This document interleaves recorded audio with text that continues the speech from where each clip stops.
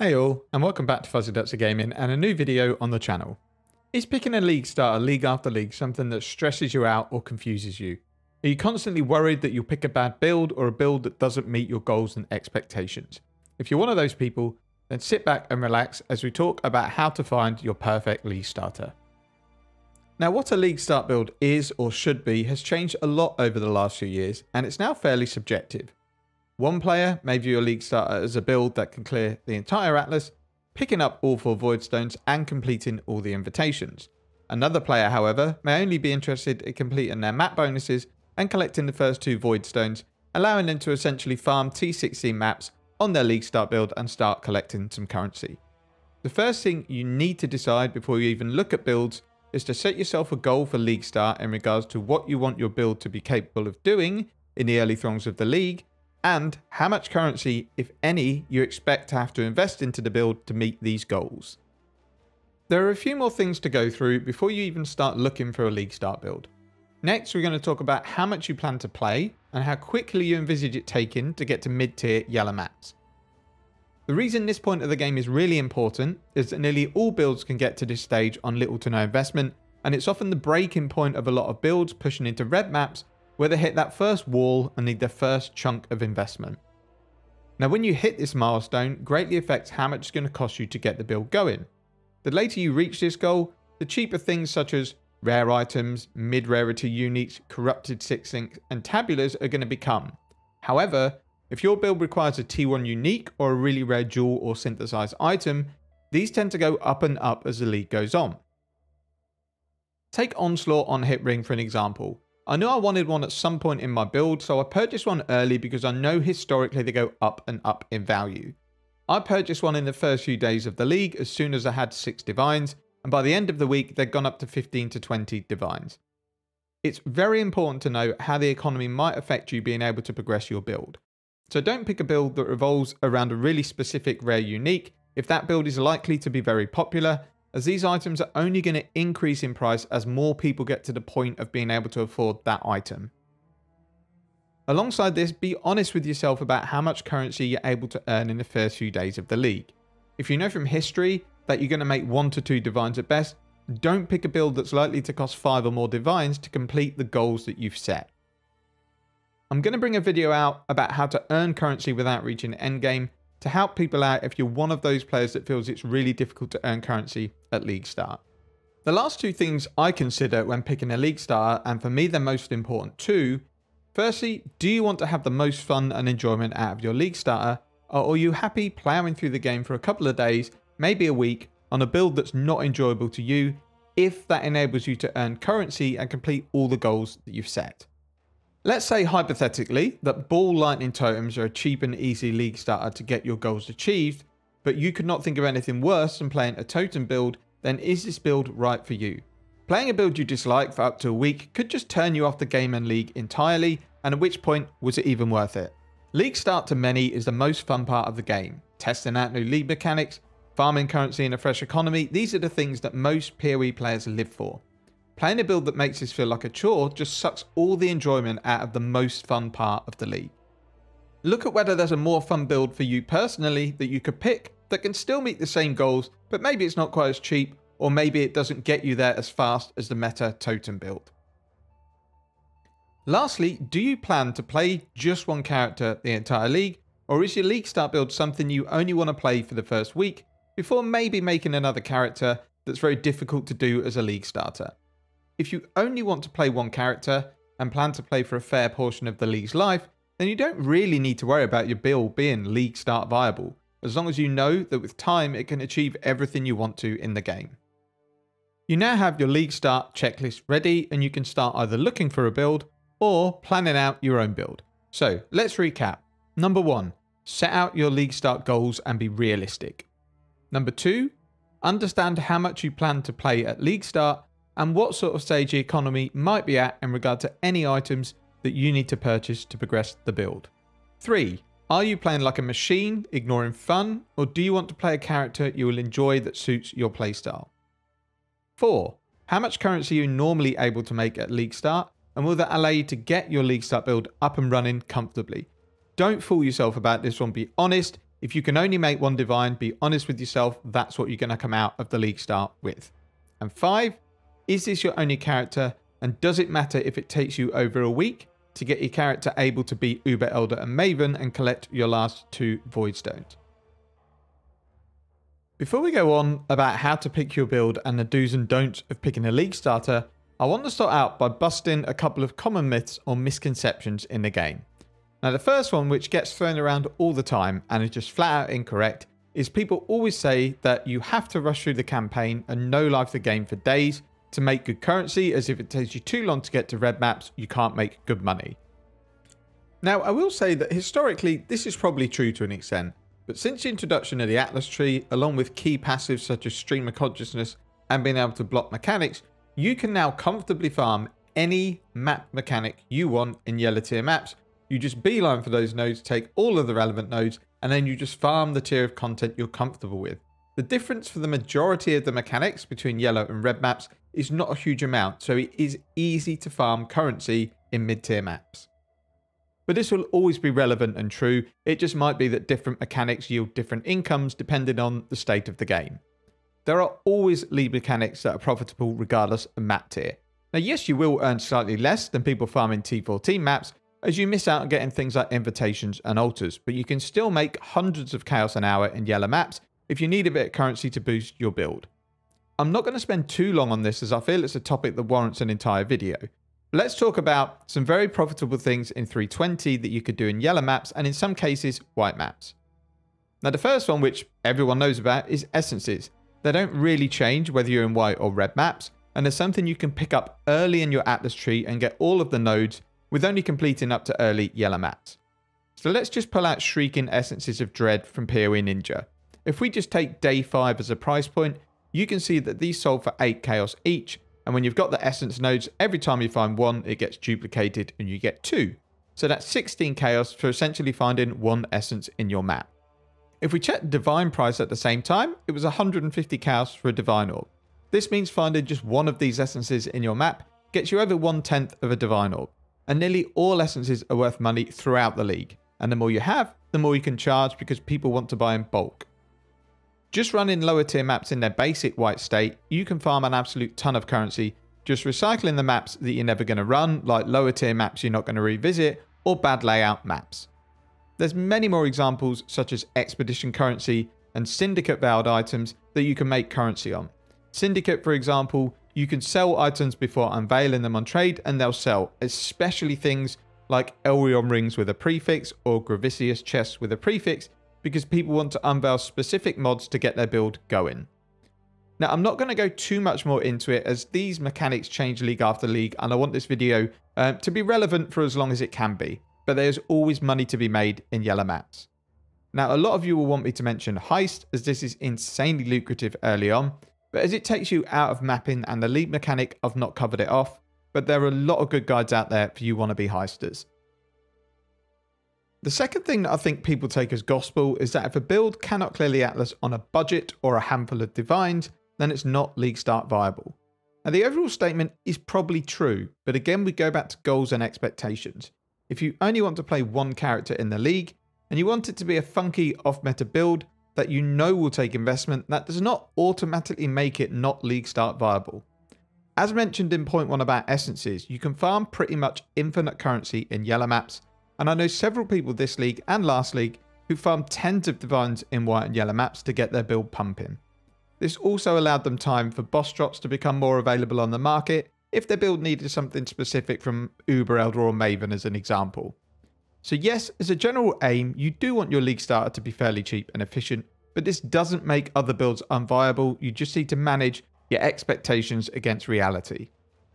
Now there are a few exceptions to this in that if your character just won't function without mega investment, meaning you can't even comfortably clear white and yellow maps, it's probably not viable and at this point you would say I maybe need to look for another build. And then the last thing is that people say you have to play for hours a day to get anywhere in the game. Now, obviously, the more you play, in theory, the more you'll progress. But playing efficiently and knowing what you're doing beats out just playing for a long time.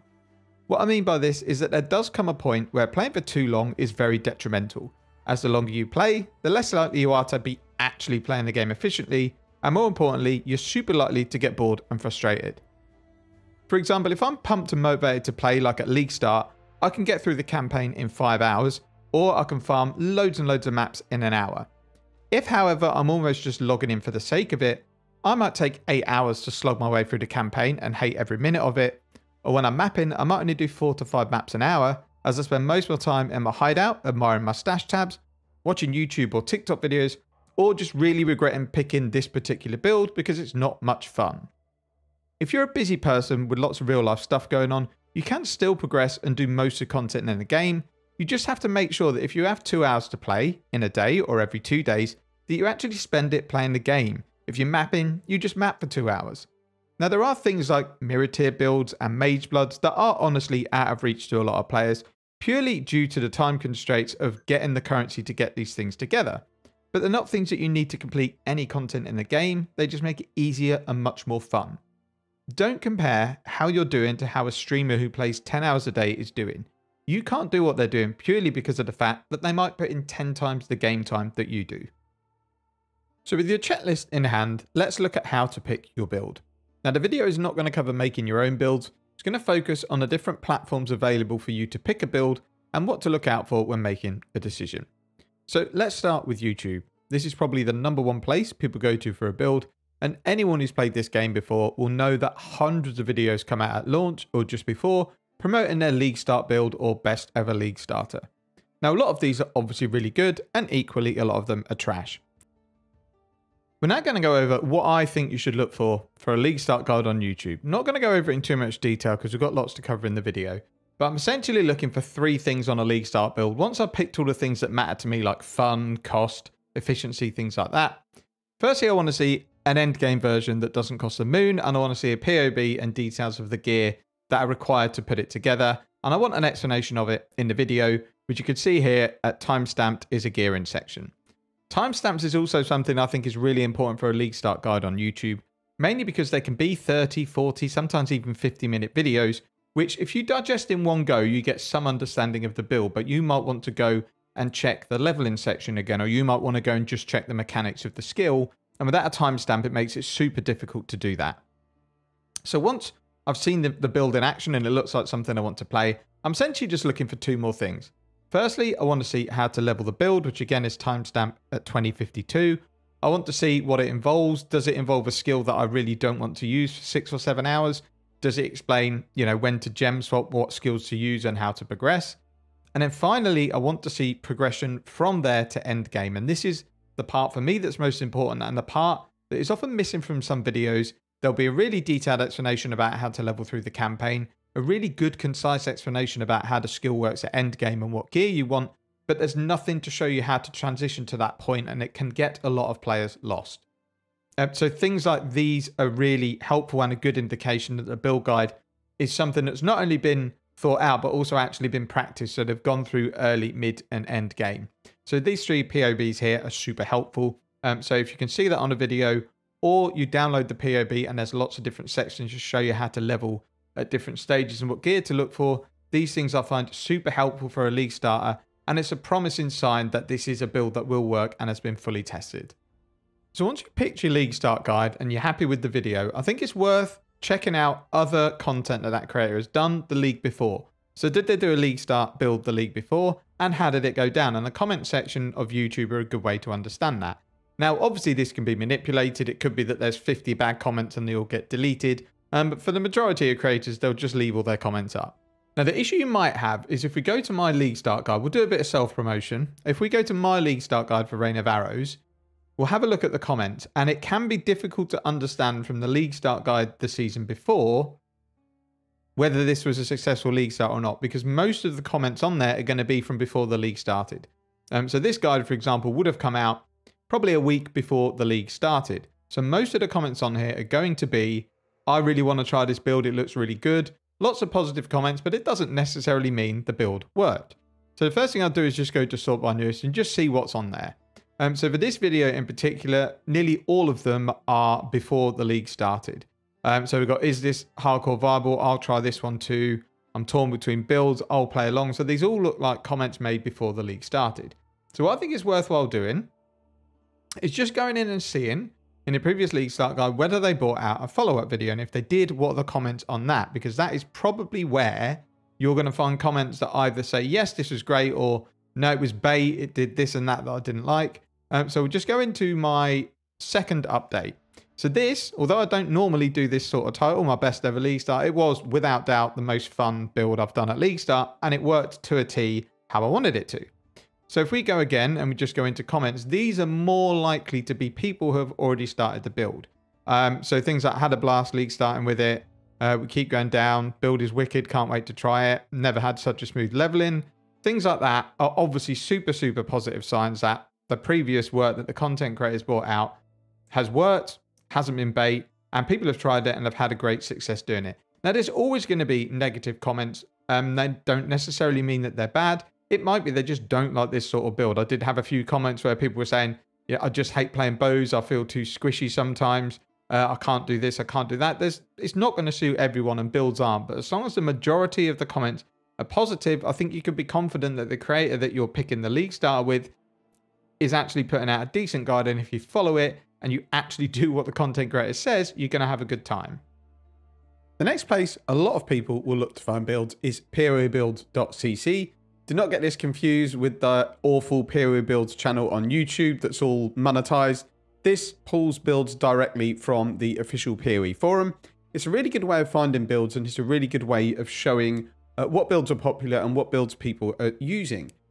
I used to have my Vaal Lightning Strike build on PoE builds, but the way you have to create the guides is so archaic, it takes a long time, it's easy to make mistakes, and it's a pain in the ass to change them. So yes, if someone like Enki, for example, his guide is really, really up to date. He amends it all the time. It's a build. There's a reason it's top. It's a very, very detailed guide. But a lot of them maybe aren't as detailed because they are very, very difficult to change, which means builds that might have been on there for four or five leagues may not have the sufficient changes when patch notes come around. Another really good one that's sprung up over the past few leagues is Maxroll. This was normally something uh, dedicated to other games, particularly things like Diablo 3. Now it's got a Path of Exile section with lots of the big streamers contributing um, to getting guides out. There's guides for various different things as well as builds, uh, but uh, they are really, really good and well put together guides. You just have to make sure that when you're picking a guide that you go through it and, and it is a guide that you want to use at League Start because this covers a variety of different builds, this website. So you'll have League Starter builds, you'll have end game builds, you'll have budget builds. So make sure when you're picking a build that you pick the type you want with League Starter, um, want to be a mapper, and then see what comes up when it filters it through. Now, the last one I'm going to talk about in detail is Path of Exile builds Reddit. This isn't PoE Reddit. This is a separate Reddit for just builds, and I've found this really, really helpful.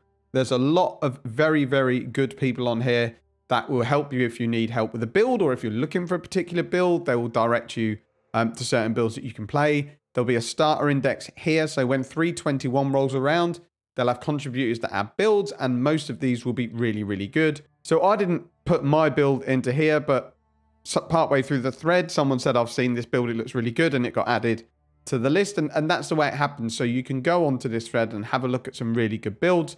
A lot of them will be on YouTube or Maxroll. So it might be just relaying you to areas I've already covered in this video but it's a good way of just going skill by skill to see what build you might want to play. So the last two we're going to cover off is PoE Ninja and Twitch, but we're going to do them in one. The reason being is that they sort of combine with each other when you're talking about builds. So I'm going to show you how I use PoE Ninja because this tool can be absolutely terrible for ruining both your league start and your build. The reason being is that if we go into week 10, for example, which is way, way, way into the league, because of how easy it is to get to level 100 now, you have no idea how these people got there, if their build got them there, or if their build is even any good. So if you untick Toxic Rain, you'll see a ton of skills, and it will be the general meta skills, Tornado Shot, um, Righteous Fire, Spark. Doesn't mean these builds are good though. Yes, these skills can be built amazingly, and they can work really, really well. But just because someone's level 100 does not mean their build is good.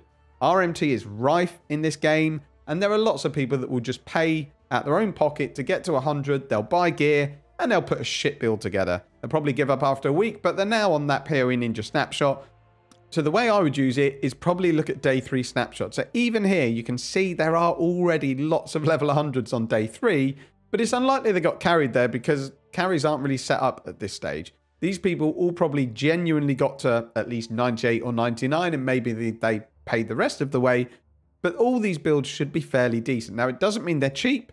This could be still, at this stage of the league, 50 to 60 divines worth of currency. But it gives you an idea of what people league start with and what they're playing with. So you could then go through and pick the skills you want. Personally, I'll probably go down to day two. I want to see people at, you know, 90 to 100. I don't really want to see level 100s because I'm not going to be that person. Um, so what you could do is go in, have a look at the snapshot, see what people are playing. I decide, right, I'd actually like to play uh, a Bone Shatter build. So I'm going to click on that, and then it's going to give me all the Bone Shatter builds, and I can just go and have a look. You can import these um, into POB, or you can just click on the character and have a look um, what sort of gear they had at this stage of the league, what their tree looked like, uh, whether any jewels specifically that they've got that you might need. It's just a really good way to look at builds. What it also gives you is a link to streamers that play, and it will give you a link to their build as well. Again, you can just import this build direct into POB. Um, so let's say you found a streamer that you wanted um, to watch, and you liked the look of the build. You can click on that particular character, and you can have a look at the character, or you can click on the streamer and link direct to the stream.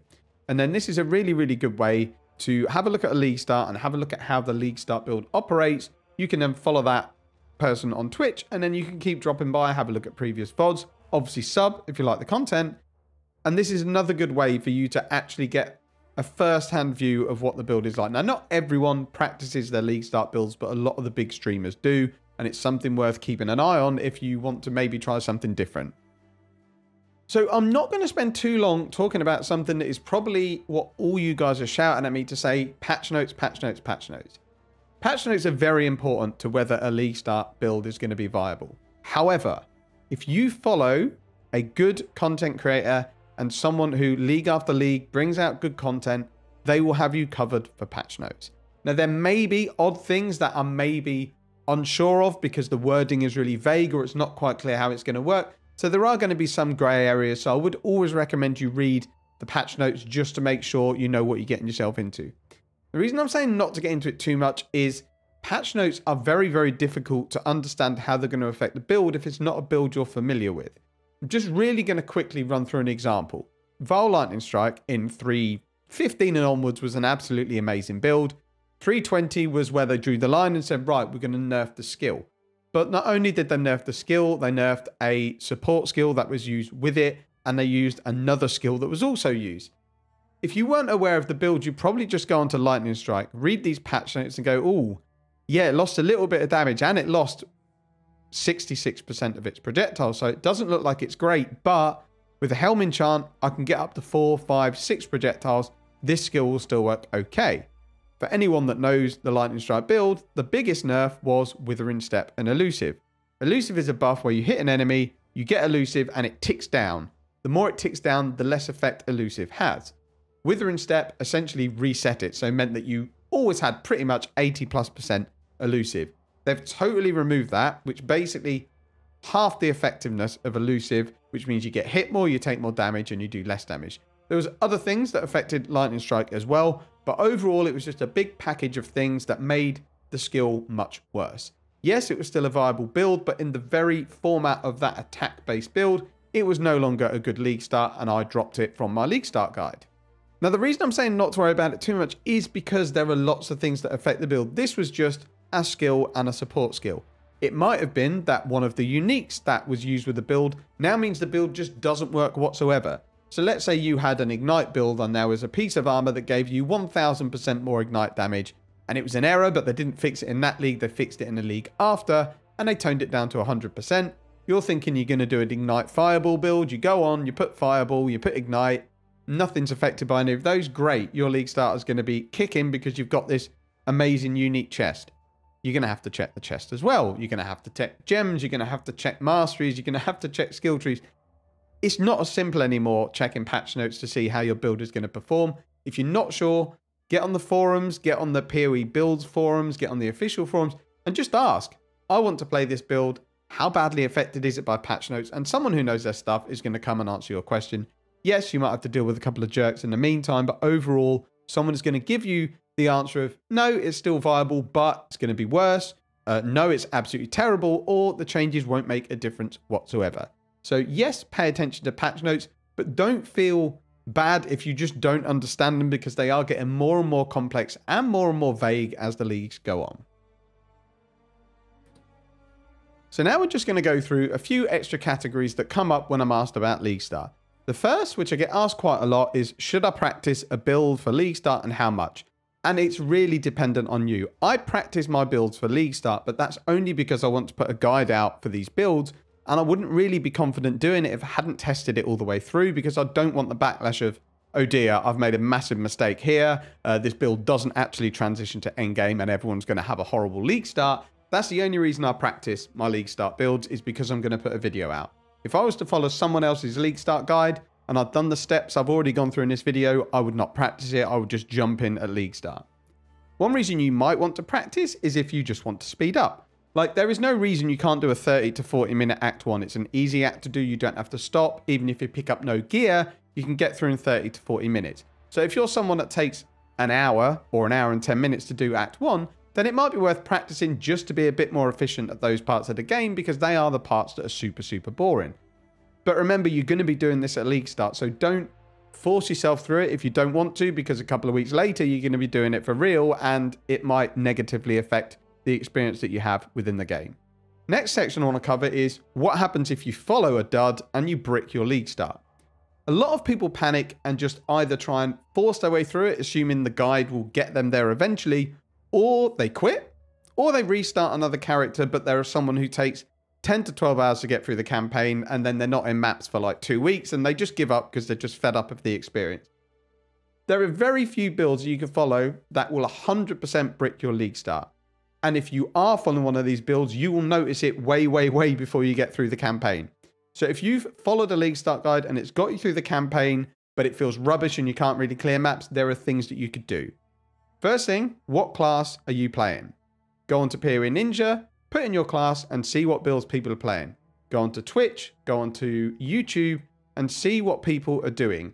You will be able to respec into another build, probably for no currency whatsoever, to at least be able to start mapping and get some currency. Yes, it is a bit annoying to have to change builds halfway through your league start, but there's no point banging your head against a brick wall with a build that is just not going to work. Farm up a few regrets, look at what you need to do to respec your tree and do so. What I'd recommend is if your build was a spell build, look for a similar spell build because it should be less respecs. Alternatively, if yours is like an attack-based build, look for another attack build because again, it's going to be less respecs. You don't want to have to save up enough regrets to respec your entire tree, but maybe find a build that works that is just 20 to 30 respec points. It is certainly going to be quicker than grinding your way through the entire campaign again, and who knows, the next league start you pick might also be a dud. So do not panic. It is annoying and very frustrating, but it's not the end of the world. And I can't think of many builds that would completely brick a league start. And then the last thing I want to cover off in this kind of tip section is should you start another build if you're really not enjoying your league start build? And again, this is down to personal preference and whereabouts you are within the game. If you are going through the campaign and you are leveling with a different skill that's not going to be your endgame skill, then you kind of just have to grin and bear it. When I played my Lightning Strike build, for example, I leveled with Spectral Helix and I absolutely hated it. However, it got me through the campaign an hour quicker than any other skill, so it's something I would put up with until I could get my build online.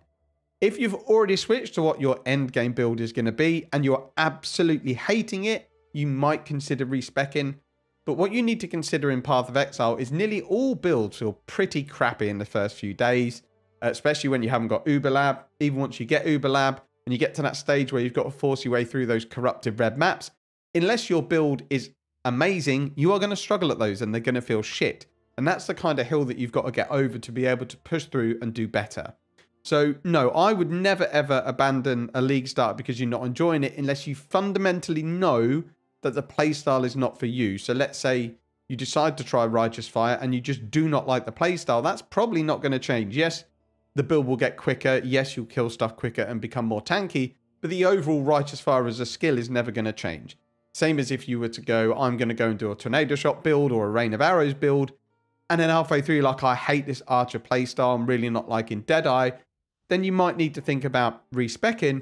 But Are you hating it that much that you can't get through and get your void stones? Really, really think about whether you want to restart. And I honestly would only restart a league starter build if I couldn't continue with the character because it was terrible. If I didn't enjoy it, I would just say, look, this is the build I've picked. I'm already two days into it. I've done the campaign. I'm just going to grin and bear it. As soon as I've got 10, 15 divines saved up, I'm going to start another character, whiz through the campaign, and then we'll go again. What I'm going to talk about now is currency making. I put out a budget build guide, which I would call budget for Tornado Shot, well past the halfway stage of the league. I said, here's a budget Tornado Shot build, works really well, 10 to 15 divines. And I had three or four comments like 10 to 15 divines, lol, budget. I don't make one divine a league and I play four hours a day, stuff like that. They could have been trolls. But some people do think that just playing the game makes you currency, and this isn't true. Yes, it does to an extent, in that the more you play, the more currency you're going to make. But if you're not targeting specific mechanics, or you're not doing T14 maps and altars, and you're not getting invitations, where's your money coming from outside lucky drops? And it really isn't. But you do not need to play 8 to 10 hours a day on League Start every day to make money. To give an example for me, I live in the UK, so League Start is either 9 o'clock at night 7 o'clock at night, or it sometimes falls in between at 8 p.m. I'm 43 years old. I'm not staying up for 24 hours gaming my ass off to get to maps. I want to be able to actually feel awake and feel good and rested and enjoy my playtime. So without fail, and I always stream at League Start, I'll pretty much get to Blood Aqueducts and then I go to bed. I get eight hours sleep, I wake up, have my breakfast, have some family time, probably get back on the computer at midday, get to maps maybe three in the afternoon, so I'm coming up to now 20 odd hours probably after league start and I'm just hitting maps. Someone in America who maybe takes 12 hours to get through the campaign, but they started at 9 in the morning is going to be ahead of me and I don't care and it doesn't make a difference. I can make money at any point in the game and it's not difficult to do so. And as I say, the next video is going to show that. Do not be put off if a streamer is getting through yellow maps and you're just getting through Act 7 it really doesn't matter how slow it takes you to get through it. It's more about once you get to maps, are you doing the right things to make the little bit of currency that you need to push your build further? And as I say, there will be another video um, coming out to show that. So what are my plans for 321? I may as well cover this off at the end of the video. I'm on holiday for League Start. I'm away four to five days before the launch and four to five days after the start. I'm actually looking forward to that. I'm looking forward to seeing what it's like League starting very late. And I want to dispel all these myths about you have to get to maps in two to three days, you have to do this, you have to do that, because you don't. And I'm really looking forward to bringing out some videos to show how to make currency if you're a bit late to the party, which is why I want to bring out a video about how to farm yellow maps, because this is probably going to form part of my strategy. I am going to be in no rush whatsoever to get any void stones because I'm starting so late. What I would rather do is farm yellow maps, get a ton of currency together, buy all the stuff I need for my build, and blitz through all of the end game so there will be a video coming out before I go away of how I plan to do that and what mechanics I plan to utilize as long as I get some idea of what the Atlas tree is going to be like before I jet off. And then once I return, I'll obviously league start. And as usual, there's going to be daily updates and I will try and stream as much as I can for the first few days. Whether anyone wants to watch someone league start five to six days late, who knows. The other idea I had, which I don't think is going to happen because I absolutely hate it, is I could league start on console because then I can actually get in with League Start, but I really do not enjoy this game on console. That's enough waffling from me. Thank you very much for watching. Take care and see you in the next one.